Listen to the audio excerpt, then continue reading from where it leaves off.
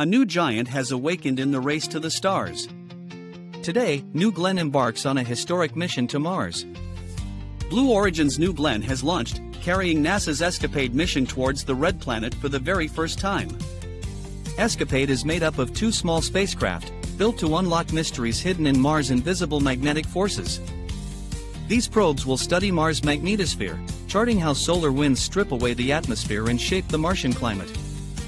By understanding Mars' lost magnetic shield, scientists hope to uncover why Mars shifted from a wet, warm world to a cold desert. But this mission is more than science, New Glenn's powerful booster separates flawlessly, beginning its return journey to Earth.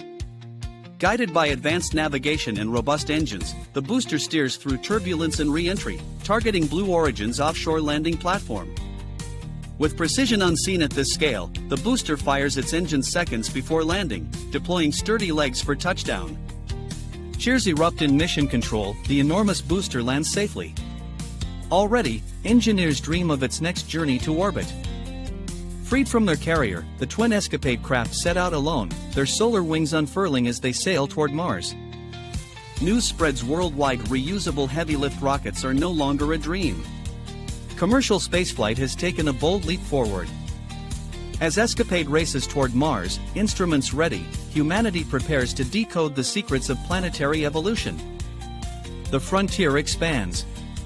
With reusable giants and daring missions, the future of space exploration stands brighter than ever before.